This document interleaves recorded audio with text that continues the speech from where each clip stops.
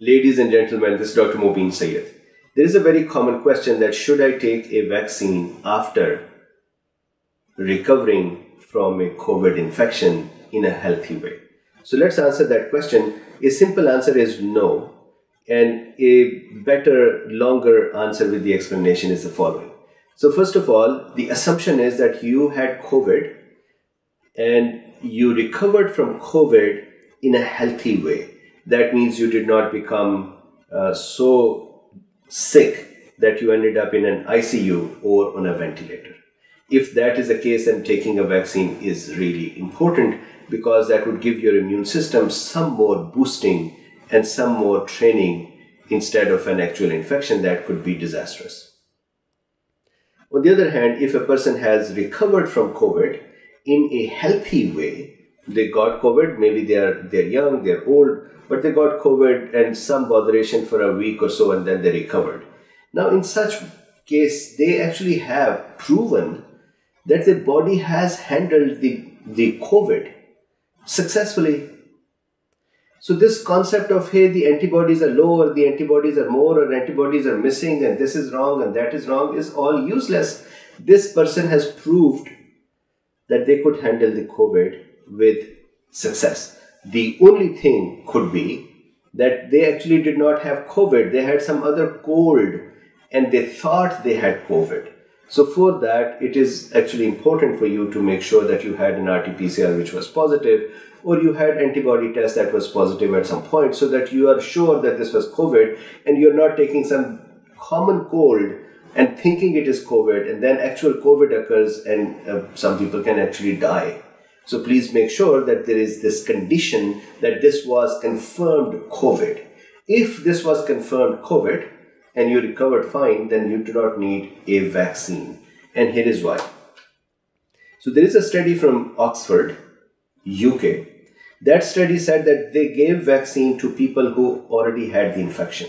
So after giving the first dose of the vaccine, they saw that there was some increase in the immune system's response, which a person who had the infection, so let's say if I got infection today, then I recovered, then you expose me to the same infection three months later or four months later, my memory B cells and T cells that were sleeping will wake up and respond and they would start increasing their response. This is this would happen which we say proliferation and differentiation of the immune cells would occur. So you take the dose of a vaccine and that would happen or you get an actual infection this would happen as well. So that means your body was actually ready to take care of the infection again and think about it. You took care of the vac- uh, infection before. If it comes in again you would actually take care of that again as well without any issues. So why do you need a vaccine? No number one. Number two there are some folks who say that um, the variants are different and that is why the vaccine should be taken. So please once again realize you have attacked, your body has attacked the actual original Wuhan virus and you have taken care of it or some variant. Nowadays, most of the patient, patients who are becoming sick are becoming sick with the variants. And you took care of it. The variant and the Wuhan original version or wild type are actually 99% or more similar. Actually, there is only 17 or 20 amino acid differences which is fraction of a percentage. So there's not enough difference to say that the previous immune training, either by an infection or by a vaccine, has become useless and you need to have the vaccine again. And even if you want to have the vaccine, if even if you think that you should have the vaccine, for example, there have been some people who've been saying, and my apologies, Luffy is here and he's uh, he's going to sing the songs of his people while I'm talking. So you'll have to you'll have to bear with us. So now imagine that you had the variant or you had some original infection. Now you have a variant in your society.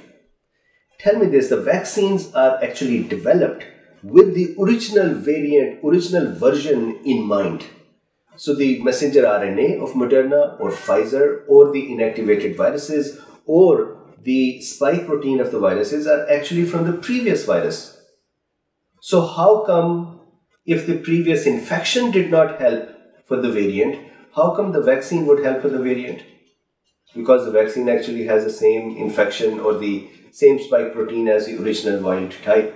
So until this this logic of taking a vaccine because there are variants will only become applicable when there are booster doses of the vaccines which are more towards the new variants. Then this um, argument can become valid that hey, we have a vaccine that is more aligned to attack the variant compared to the original one. So maybe taking this as a booster dose may be interesting. So then those people who are at risk, uh, elderly, people with comorbidities, they may need to have it. Now, with this, there is one more chance to consider taking vaccine. And let me also say this if you said, hey, you know what, I'm a medical doctor. Actually, this morning, a medical doctor called me with this question, that's why I'm talking about it.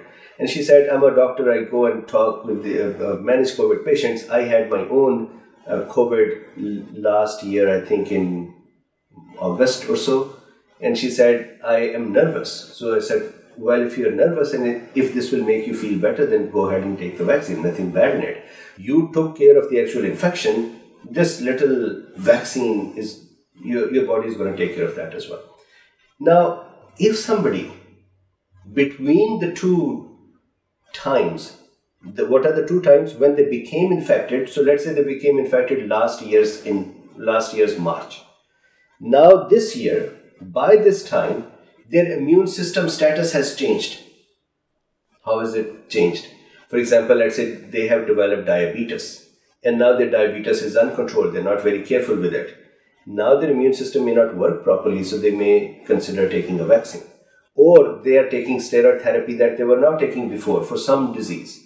And so now they may consider a vaccine or maybe they have an organ transplant, or maybe they have a chemotherapy, or maybe they developed some leukemias or some other cancers, or uh, some other nutritional deficiency occurred. So, some reason that their immune system became different compared to where it was before. If that is the case, then this is also a right time to think about taking a vaccine or not. Otherwise, if your body, I would now repeat it, if your body had taken care of the infection in a healthy way, you do not really need a vaccine. Now, is it contraindicated? No. Will it hurt you? No.